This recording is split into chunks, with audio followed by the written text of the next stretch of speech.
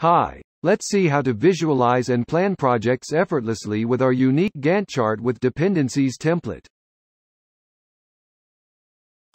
Project Setup Click on the Configs button at the top of the sheet. This opens up the configuration settings. Review and update values of project configurations, including project start date, project timeline duration, weekend mode, whether to show weekend, Gantt chart labeling option, and list of holidays. Once you're satisfied, click Save Configs to apply these configurations and return to the project view. Adding and editing a task. Double-click on a cell below the task column. An input form will appear on your screen. Ensure task is selected in the type dropdown and type in the task summary. Click on the Start Date button and select the start date from the timeline. Then click OK. Enter a number for the net workdays field. Then the finish date will be automatically calculated. Alternatively, click the Finish Date button and select the finish date from the timeline. Then the net workdays will be automatically calculated. You can choose to enter the percentage complete now or come back to update it later. You also have the option to customize the chart color using the color options buttons in the bottom left corner. Click the Save button and your task is now created. To edit a task, double-click on the cell below the task column that corresponds to the task you wish to edit. Creating a task dependency. Click on the Gantt bar representing your predecessor task. Next, click on the Gantt bar representing your dependent task. Choose the desired link type and click Save. A task dependency will get created. To delete a dependency link, simply double-click on the dependency line and confirm the deletion. If you selected a Gantt bar or a dependency line by mistake and want to deselect it, simply click on any cell. Note also, a red dependency link indicates a schedule conflict between the predecessor and its dependent task. Watch for these cues so that you can adjust the tasks accordingly.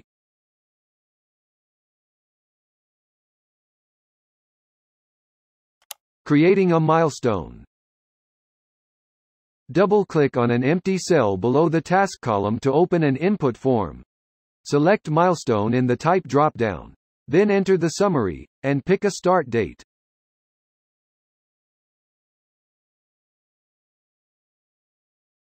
Finally, click Save to create a milestone. Creating a group. Double-click on a cell below the task column to open an input form. Choose Group from the Type drop-down. Enter a group summary, then click Save.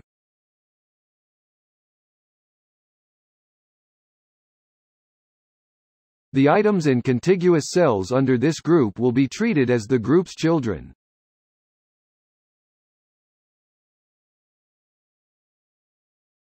To fold or unfold a group, Double-click on the triangle icon on its left.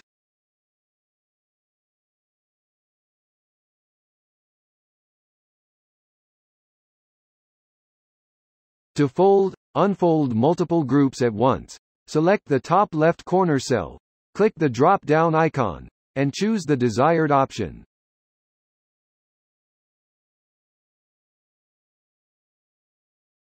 Creating sub-level group and item Double-click on a blank cell and create a new group.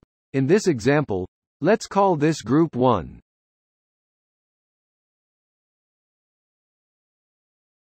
Double-click on a blank cell below group 1. Create another group. Let's call this group 1.1.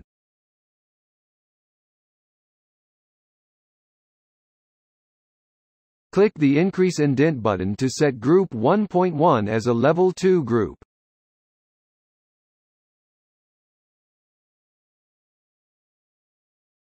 Double-click on a blank cell below Group 1.1, then create a task.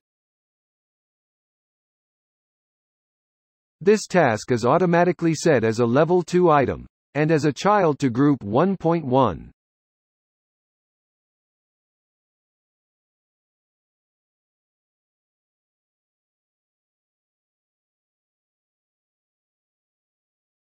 To fold or unfold a group, double-click on the triangle icon on its left.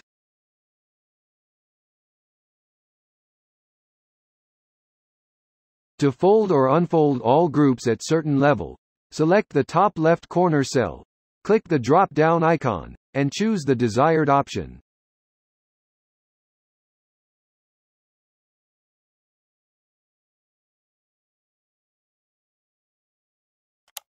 moving, deleting, or inserting a row. Click on an item cell under the task column.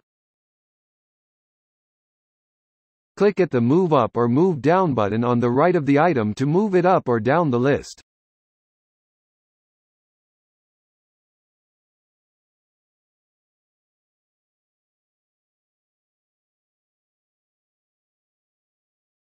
Use the Insert button to insert a new row below the selected cell. Use the Delete button to delete the selected item.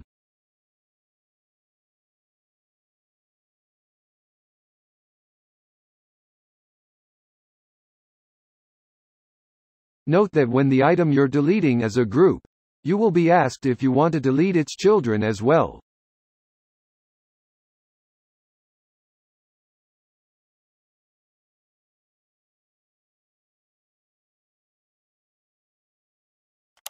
Switching views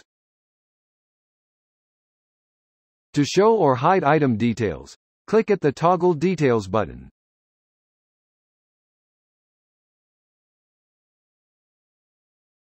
To switch between daily, weekly, and quarterly views, click at the Day, Week, Quarter button.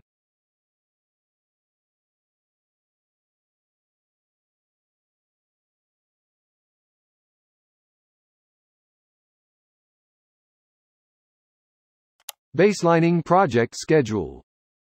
Let's see how you can set a project baseline as a snapshot of your original schedule.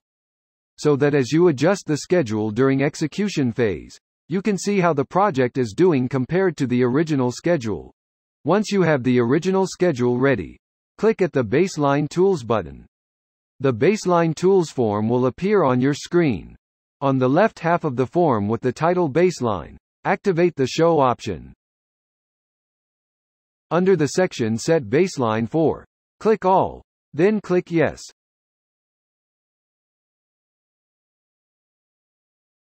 The baseline bar in light gray color will appear beneath each of the Gantt chart bar.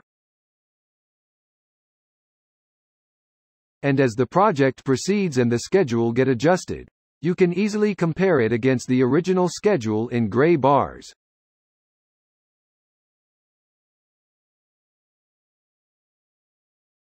To hide the baseline bars, open the Baseline Tools form and uncheck the Show option. To delete the baseline, open the Baseline Tools form, and under the section Clear Baseline for, click at the All button, then click Yes. If you need to set or update a baseline for specific items, first make sure to highlight the targeted items below the task column. Open the Baseline Tools form, and under the section Set Baseline for, click at the Selected Items button. Then click Yes.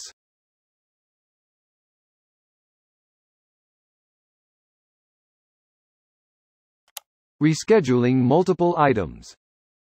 Select the targeted items below the task column then click at the Rescheduler button. Enter number of days, for example, 7, to shift selected items to the right for 7 days. To shift dates to the left, enter a negative number.